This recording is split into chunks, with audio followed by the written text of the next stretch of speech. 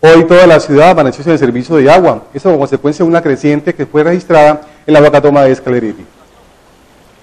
La creciente del río Escaleriti en las últimas horas obligó a suspender el servicio de agua potable en algunos sectores de la ciudad y que a esta hora paulatinamente comienzan a ser restablecidos. Aunque el verano había ocasionado disminución en el nivel del afluente 70 centímetros por debajo de lo normal, una fuerte creciente registrada hoy en la madrugada llevó a suspender el bombeo de agua dada la alta turbiedad acompañada de piedras y árboles que obstruyeron la boca toma. Se espera que en 48 horas de no presentarse lluvias en la zona de la boca toma, el servicio sea restablecido en toda la ciudad.